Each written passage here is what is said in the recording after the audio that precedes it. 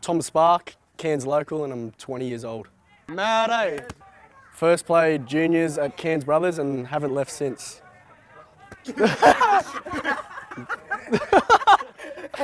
Can I? Oh, no, not. That's when I look down the barrel and say, I know.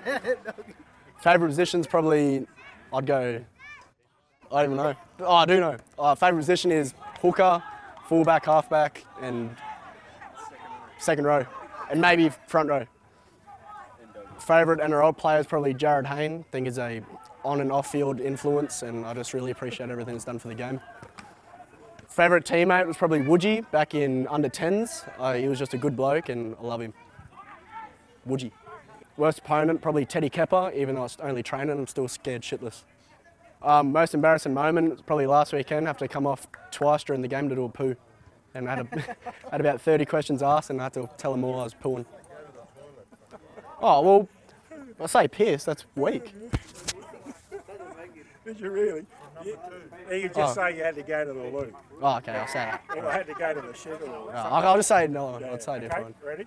Go again. Right, most embarrassing moment was probably last year. I took a conversion from in front and hit the post. That's pretty embarrassing.